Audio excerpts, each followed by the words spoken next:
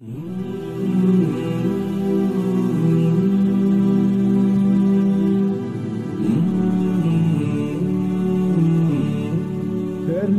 mümin kardeşlerim, Esselamu Aleyküm ve Rahmetullahi ve Berekatuhu.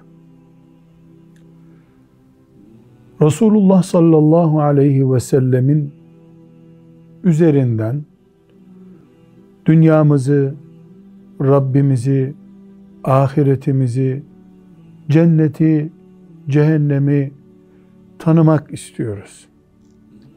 Allah ashab-ı kiramdan razı olsun. Bize onu gözümüzle görüyormuşuz gibi çok net izleyebileceğimiz, gönderiliş gayesini anlayabileceğimiz bilgiler ulaştırdılar. Allah onlardan razı olsun.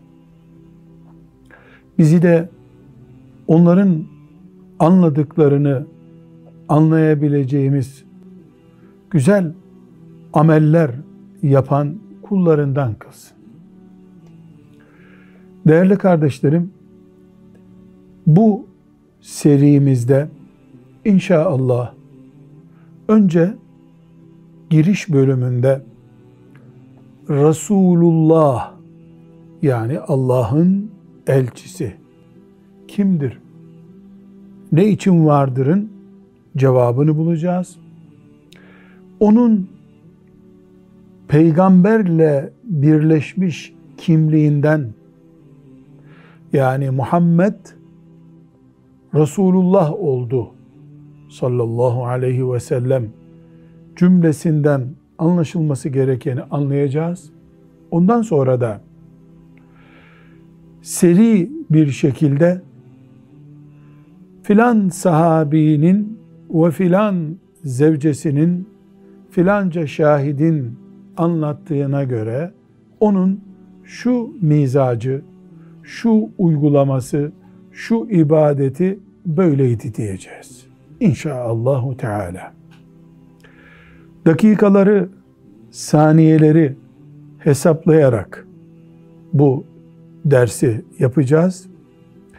Çok kısa vakitte çok şeyi önem sırasına göre anlamaya çalışacağız inşallah. Maksadımız şudur. Allah'ın ona uyarak cenneti bulabilirsiniz, beni bulabilirsiniz buyurduğu peygamberini tanımak istiyoruz. Elimizdeki bilgi ile Rabbimizin rızasını kazanmak istiyoruz. Hikaye de olsa dinlediğimiz onu bizim cennetimize çevirmek istiyoruz. Bir nevi siyer bilgisi öğreneceğiz ama bu bilgiyi ibadete dönüştüreceğiz. Medine'de bir peygamberin hayatını değil, yüreğimizde olması gereken bir peygamberin hayatını anlamaya çalışacağız. Bunun başka taraftan ifadesi şudur. Yaşamak için ondan öğrendiklerimizi öğreneceğiz inşallah. Değerli kardeşlerim, Allah Celle Celaluhu kendisini tanımamız, sonra da cennette cemalini görmemiz ile ilgili süreç için peygamberler gönderdi. On binlerce peygamber gönderdi. Bunların sonuncusu da Abdullah'ın oğlu Muhammed sallallahu aleyhi ve sellem'dir. O dünya hayatının da ahiret dönemimizin de huzurudur, garantisidir. Onu tanıdığımız kadar, onu hayatımıza uyarladığımız kadar dünyamız huzurlu olacak, ahiretimiz cennet ve cemalullah olacak. Biiznillahi Teala. Ashab-ı kiram, Allah onlardan razı olsun, bu iddianın ilk ve en başarılı örnekleridir.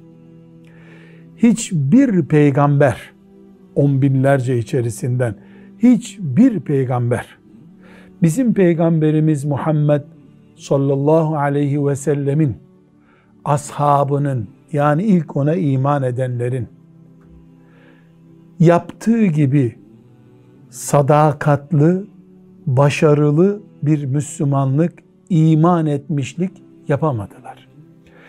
Ashab-ı kiram yani ilk Müslüman nesil, Allah onlardan razı olsun, yüzde yüz Peygamber sallallahu aleyhi ve sellemin onlarda uygulamak istediği şeyi yaptılar ve bunu becerdiler.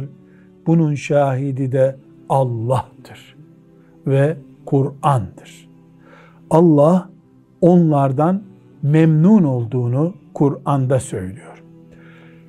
İleriki bölümlerde göreceğiz bütün hatalarına rağmen.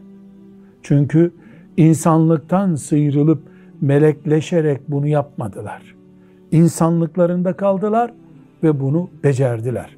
Allah Celle Celaluhu bütün peygamberleri iki hedef için gönderdi. İnsanlara akide yüklesinler. Ne demek akide? İnanç esal, esasları. Hayatı ve varlığı kabullenme ve yaşama esasları. İki, amel. Yani bu hayatta neyi nasıl yapacaklarını öğretmek için. Güçlü bir iman, orijinal bir hayat böylece ortaya çıksın diye. Babamız Adem Aleyhisselam'dan itibaren bütün peygamberlerde gaye bu iki şeydir. Ashab-ı kiram Allah onlardan razı olsun bu iki şeyi de becerdiler. Peygamber aleyhisselama tam Allah'ın istediği gibi inandılar. Peygamber aleyhisselamın emirlerini tam Allah'ın istediği gibi uyguladılar. Böylece Peygamber aleyhisselamın bu dünyadaki bulunuş gayesi en güzel onlarda uygulandı. Onların biz Resulullah sallallahu aleyhi ve sellemi gördük. Şöyle yapıyordu. Bize şöyle emretti. Filan yerde tavrı şu oldu şeklindeki bilgiler Allah'ın bize nasıl bir peygamber murad ettiğini gösteren bilgilerdir. Onun için ashabının dilinden Peygamber aleyhisselamı tanıdığımız zaman pratik bir Müslümanlık tanırız. Müla, müdahale edilmemiş, yönlendirilmemiş, yorumlanmamış bir Müslümanlık tanırız.